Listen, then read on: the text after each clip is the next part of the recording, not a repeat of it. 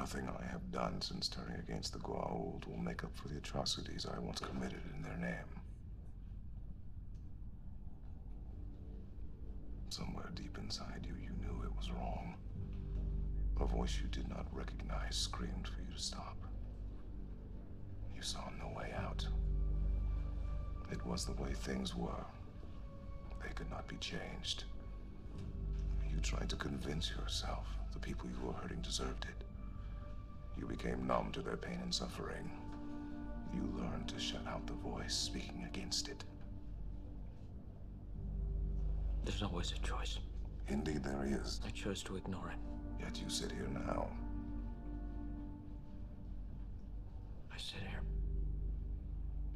And I cannot imagine the day when I will forgive myself. Because it will never come. One day others may try to convince you they have forgiven you. That is more about them than you. For them, imparting forgiveness is a blessing. How do you go on? It is simple. You will never forgive yourself. Accept it. You hurt others. Many others. That cannot be undone. You will never find personal retribution. But your life does not have to end. That which is right, just, and true can still prevail. If you do not fight for what you believe in, all may be lost for everyone else.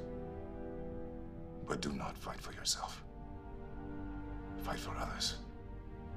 Others that may be saved through your effort. That is the least you can do.